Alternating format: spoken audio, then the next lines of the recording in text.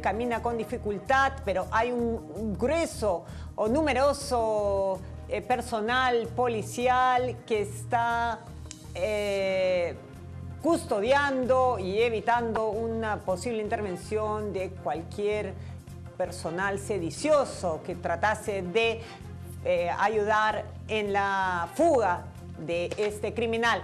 Tenemos ahora un enlace con la plataforma radial de RPP Televisión. Una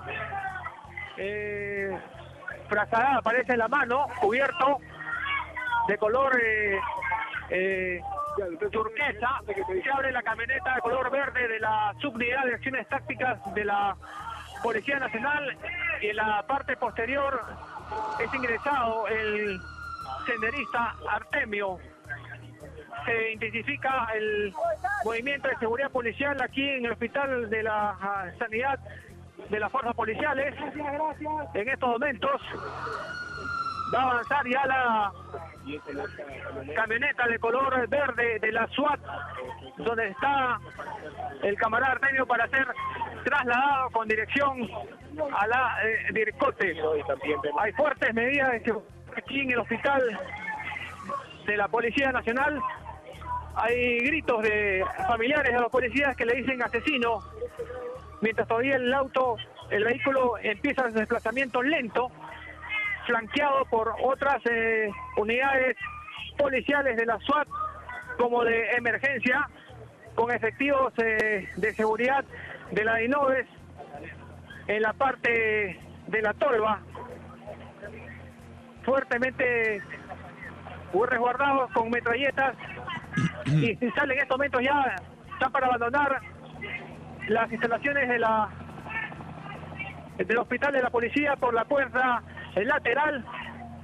En estos instantes se escuchan algunas algunos reclamos, algunas de la de la gente que está aquí en el hospital. Bien, Walter, muchísimas gracias. Vamos a retornar contigo más adelante. Tenemos también a Galo Castillo que se encuentra en otro punto. Se ha ubicado en las inmediaciones del hospital de la policía. Galo, adelante.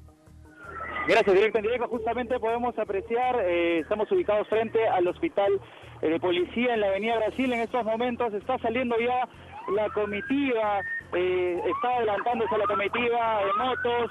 También hay un vehículo de la policía de color blanco, fuertemente resguardado, con policía sobre la parte superior del, vehículo. Está también, hay unidades de SWAT, de la Policía Nacional de Emergencia justamente estamos eh, fuerte resguardo policial de la INAES también, muy fuertemente resguardados también, con armamento de guerra, soldados también, que a esta hora eh, ya están circulando por, por todo lo largo de la Avenida Brasil. Cabe informar que ha sido cerrada desde el Hospital Militar hasta el, el, el, óvalo Bolognesi para su fácil, eh, eh, digamos, la, la posibilidad de que sea trasladada.